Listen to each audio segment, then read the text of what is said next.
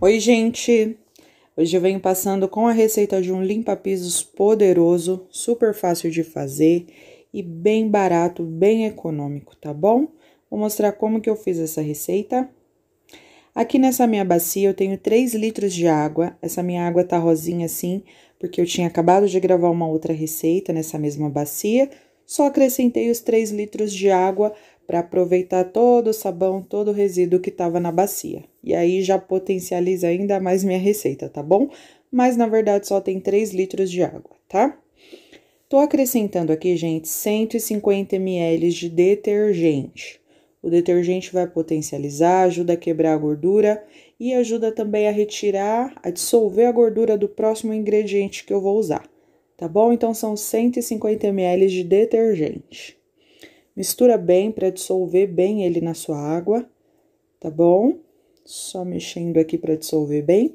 Vou utilizar nessa receita querosene, mas esse querosene é aquele que pode ser usado em casa, para uso doméstico, tá bom? Tá indicando aqui, ó, na parte de trás você lê, pode ser usado em pisos, azulejos, é, assoalhos.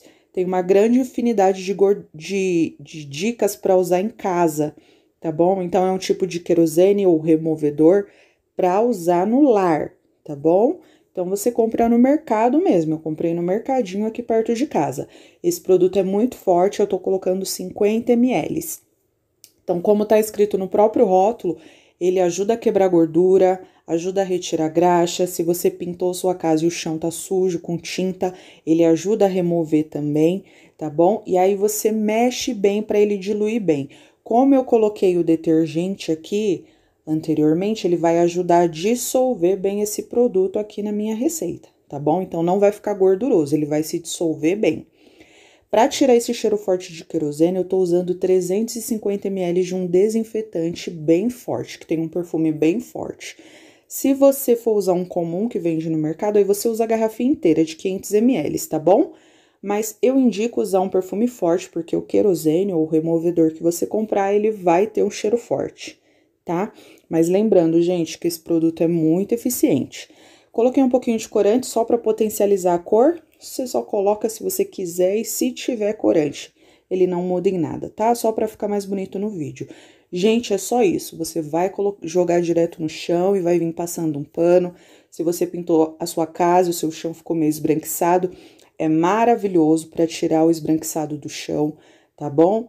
Pra, pode ser usado em janelas, em bancadas. No próprio rótulo tem uma porção de dicas de onde você pode usar esse produto. Então, ele fica bem forte, é bem eficiente. Com 50 ml, você já vai ver que já potencializa bastante. Maravilhoso para limpar o banheiro, limpar o vaso sanitário, fica sempre limpinho, tá bom?